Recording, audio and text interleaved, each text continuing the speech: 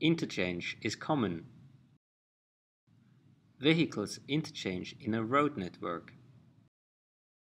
A more complicated example. Interchange also happens with people. It can involve many people. Movement data is massive nowadays. This work aims to develop visualization methods to study interchange patterns.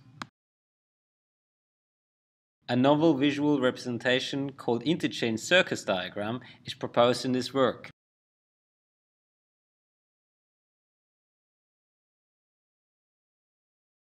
Interchange happens at junctions. Consider this junction with four connecting links.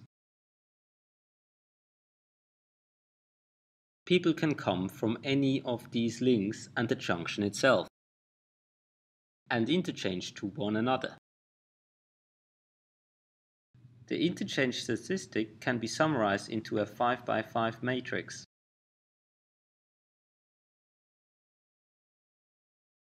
The interchange circos diagram is an effective visual representation of the interchange statistic.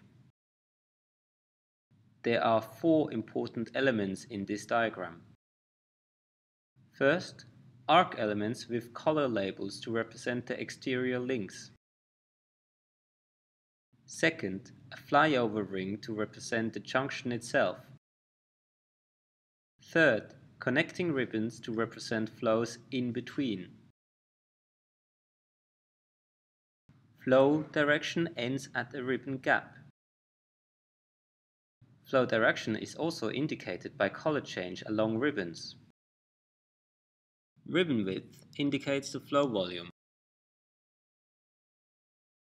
Lastly, statistic boxes to summarize the flow volumes.